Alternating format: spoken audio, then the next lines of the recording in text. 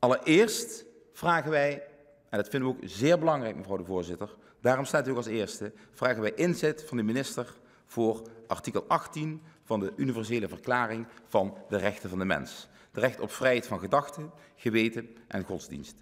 In de hele wereld worden mensen omwille van godsdienst vervolgd. En elke vervolgde gelovige is er eentje te veel.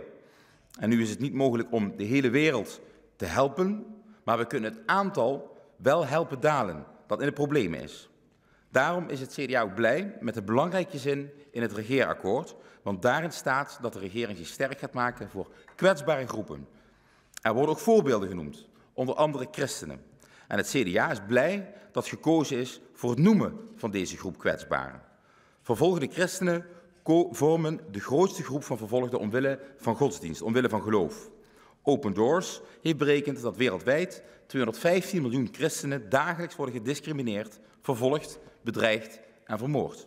En het CDA is zeer benieuwd naar hoe de regering hiermee aan de slag zal gaan. Zeker gezien de rol van Nederland in de Veiligheidsraad van de Verenigde Naties.